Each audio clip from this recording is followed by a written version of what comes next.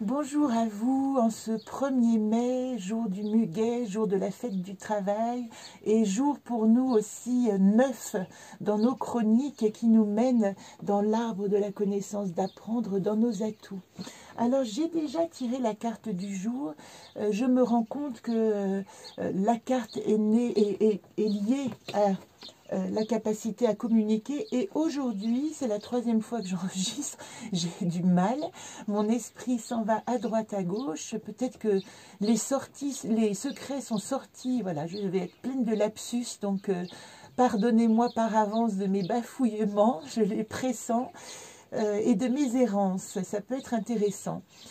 D'autant plus que dans cette carte, en fin de compte, hein, qui est la carte en fin de compte, d'ailleurs en début de compte, qui est la carte de la relation et de l'échange, nous sommes associés au pendu, qui va lui nous demander de voir sous un autre angle les choses. Alors, cette carte, l'humile, elle parle de l'échange elle parle de l'entrée en relation avec l'autre. Elle est liée au chiffre 12, qui est le 12, un archétype en soi. Les 12 euh, lunes, les 12 mois, les 12 signes zodiacaux. Euh, c'est un, archétype qui nous parle euh, aussi d'une certaine forme d'accouchement. Oh, ce mot accouchement. Hier, nous étions avec l'étoile qui était en, en gestation et fertile, dont le petit ventre nous laissait deviner qu'il y avait peut-être à l'intérieur quelque chose qui était en train de croître. Eh bien, le pendu, comme vous le voyez, il est aussi l'image de, quelque chose en gestation. Il est dans l'utérus, il est au cœur, il est la tête en bas. Il est aussi prêt à accoucher. C'est ça qui est intéressant. À accoucher de quoi? À accoucher, comme vous pouvez le regarder, il a les jambes qui sont en quatre comme l'empereur, il est prêt à prendre place physiquement dans le monde et vous voyez que son accouchement va se passer très naturellement par la tête. Ce qu'il veut dire aussi, c'est qu'il est dans la bonne position parce qu'il est aussi retourné par rapport à sa vision du monde. Donc, dans cet accouchement, il y a quelque chose qui lui a fait voir, fait comprendre le monde de manière différente, et donc c'est l'accouchement de la conscience nouvelle dont on parle avec le pendu. Voilà pourquoi il est très intéressant de le relier à la, à à carte du dialogue et de l'échange, parce que qu'est-ce qui fait en fin de compte que ce pendu, cet homme suspendu plus exactement, a des nouvelles visions, peut accoucher dans le monde? Eh bien c'est son entrée en rapport avec les autres. C'est sa capacité à aller euh, entendre les autres positionnements. Vous voyez qu'on parle de position beaucoup ici. Le fait qu'il rentre en relation avec d'autres personnes va lui donner aussi sa vérité sur lui-même.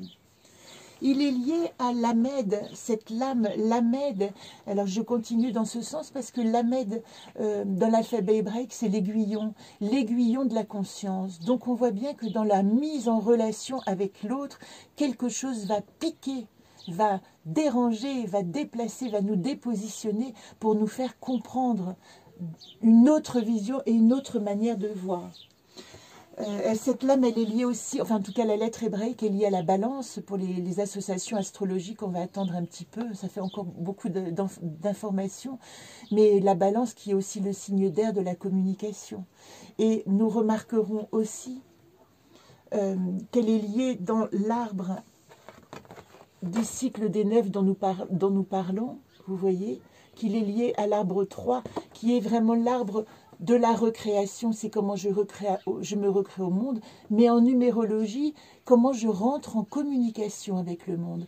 Donc cette notion à la fois d'accoucher et d'être en relation, elle est fondamentale.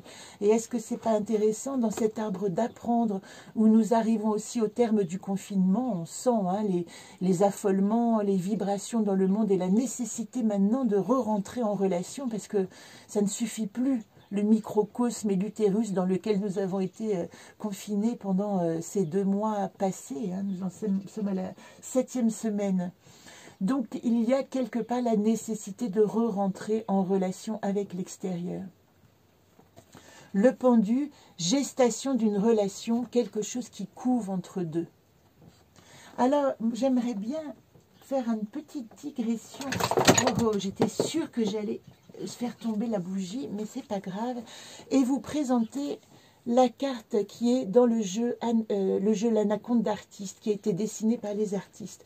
Et il se trouve que, bon, pour ceux qui le savent, j'ai envoyé ces cartes au hasard à 29, 28 artistes, puisque je suis incluse, euh, que je pressentais pour participer à ce travail d'interpréter chacun une carte en ayant le minimum d'informations.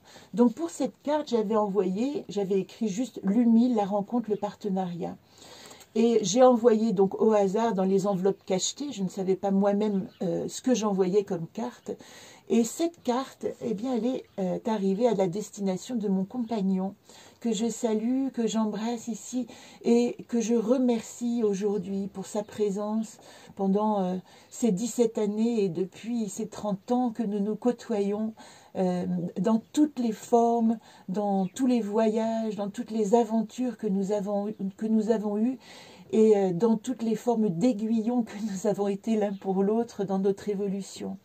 Voilà, je t'embrasse, je te salue et je te remercie. Euh, je te remercie sincèrement d'être à, mes côtés depuis tant d'années, quelle que soit la forme que nous avons choisie ou pas, ou qui s'est imposée.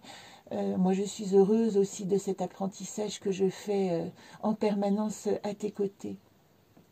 D'ailleurs, dans cette carte, le mot-clé, la phrase clé, c'est « Les rencontres n'ont qu'un seul but, nous faire évoluer les uns avec les autres ». Et je voulais vous dire aussi par rapport à cette notion des jambes qui sont croisées, en fait l'humile en numérologie, hein, quand vous associez toutes les lettres, elle donne le 4. Elle parle bien de matérialisation de la relation. La rencontre de deux êtres est le fondement de la réalisation et de la matière. Et je parle du 4 parce que l'humile donne 4. 4 fois 3, 12. 4 dans prendre place dans la communication. Est-ce que c'est pas intéressant? Ah, Ces lettres, ces chiffres sont magiques. Et le 4, je parle du 4 parce que les jambes de l'empereur sont également croisées. C'est Le 4, c'est vraiment le positionnement de la structure. C'est la structure dans la matière. Voilà pour ce petit, euh, cette petite parenthèse un petit peu privée. Je suis très heureuse d'avoir osé, osé la faire. Je vais vous lire en dédicace d'ailleurs euh, à, mon, à, mon gars, à mon homme, à mon amoureux. Je vais te lire, euh, je vais te lire ce texte et je vous le lis à vous aussi. Ce que tu es plus ce que je suis fait la somme de ce que nous sommes enfant d'émotion, fugueur de curiosité, chineur d'aventure, voyageur au long cours, avec nos fantaisies pour tout bagage. Je raconte des histoires et tu les transformes en galaxies. Voilà.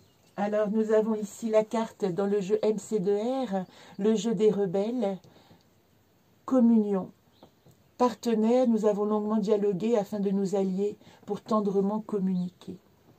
Il est question vraiment d'apprendre une nouvelle communication, et cela dans l'arbre du secret, c'est-à-dire que tout ce qui remonte à la surface, peut-être aujourd'hui, et qui peut venir euh, secouer, commencer avec les spasmes de l'accouchement, Regardez-les précieusement. Nous sommes dans un moment où le confinement devient difficilement tolérable, je pense, pour beaucoup. Et en fait, ces secousses sont les prémices de notre naissance dans ce nouveau monde. Dans le jeu du volcan intérieur, vous retrouverez la chronique euh, dans ma chaîne YouTube. N'hésitez pas à vous, abonner, ça me donne aussi, je vous l'avoue, beaucoup de courage pour continuer et avoir euh, le matin la force de venir euh, explorer toutes ces lettres et toutes ces lames et me replonger dans toutes ces histoires. Compréhension, ça parle de nous. Quand je parle, qui parle en moi? Quand j'écoute, qui entend? Ce que je dis seulement ne peut me dire entièrement, mais éclaire qui je suis maintenant. C'est un temps de, présent. Hein. Le pendu est une lame de face et nous parle du présent. Qu'est-ce qui se passe dans notre proximité d'accouchement? Voilà, je voulais finir par, le 1er mai et puis vous dire que le 1er mai, c'est la fête du muguet. C'est une fête qui a été instaurée, euh, euh, je crois, par, Louis euh, par Charles IX, à qui on, on en avait offert un brin de muguet et qui a trouvé ce geste charmant et symbolique et a décidé symboliquement en signe de chance et de grâce de l'offrir à toutes les dames du palais de la cour mais c'est aussi un signe social, vous le savez, le 1er mai, c'est la fête du travail, c'est plus exactement la fête des travailleurs. Et cette fête, elle vient de l'Amérique. Elle vient de l'Amérique et de Chicago plus exactement, où euh, à cette époque euh, a été votée euh, la loi de, des 8 heures par jour, qui enfin donnait aux hommes une, possibilité de retrouver leur rythme interne et, de ne plus travailler comme des esclaves.